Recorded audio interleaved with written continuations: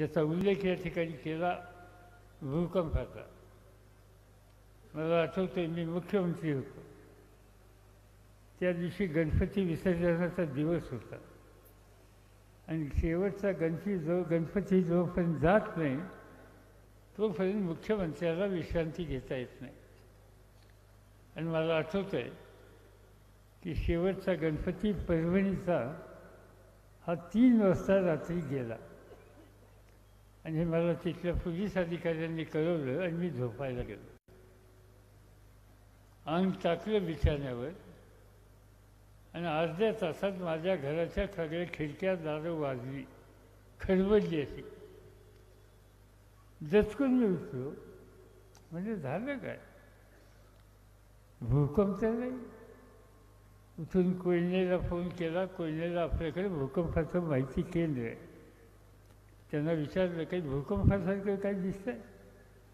त्यांनी सांगितलं हो भूकंप झाला. म्हणजे कुठं?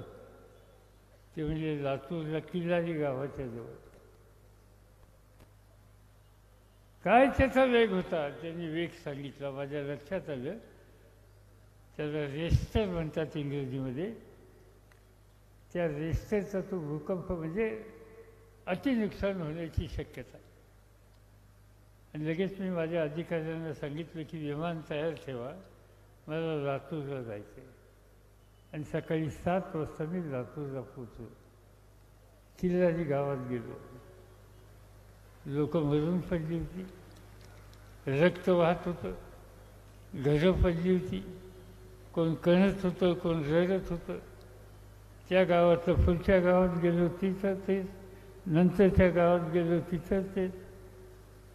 आणि लक्षात आलं मोठा भूकंप. आहे एक लाखाच्या पेक्षा जास्त घरं पडली. आठ हजार लोक मृत्युमुखी पडले. एवढं मोठं संकट कधी आलं नव्हतं. कोयनेचा भूकंप पाहिला पण त्याही पेक्षा मोठा भूकंप झाला. आणि त्यावेळेला राज्याचा मुख्यमंत्री असताना मी पंधरा दिवस गावाकडे गेलो नाही घराकडे गेलो नाही. तिथंच राहिलो आणि राज्याची सवन यंत्रणा त्या ठिकाणी आणली. आणि एका वर्षाच्या आत एक लाख घरं बांधली आणि लोकांना घरं बांधून त्या ठिकाणी दिली.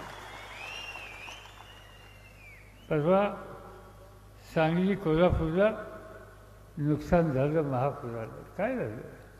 मुख्यमंत्री आले. सांगलीला थांबले अर्धा तास. आणि नंतर हवाई झा पाहणी केली. ज्यांचं संकट होतं घरदार उडालं घरं पडली या ठिकाणी. सोन्यासारखं पीक गेलं. त्या शेतकऱ्याचं दुःख दूर करण्याच्यासाठी त्याला आधार देण्याच्यासाठी त्याला दिलासा देण्यासाठी राज्य प्रमुखाची जबाबदारी असते. ती राज्यकर्त्यांनी पाहिली नाही.